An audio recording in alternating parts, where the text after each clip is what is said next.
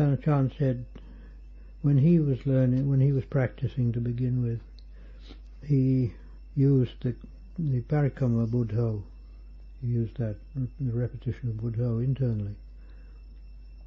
And he, he had done this for quite a long time. And he said his practice developed, then it deteriorated. And it developed again, it deteriorated. Constantly was doing this. In the end, he got fed up with this.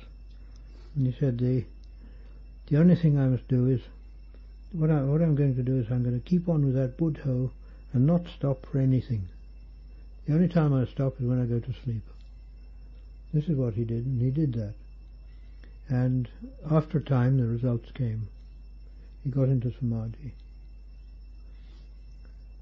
And th- this is the this is the value of a parikamma. You must have something to hold on to. Otherwise, the mind just jumps to other things.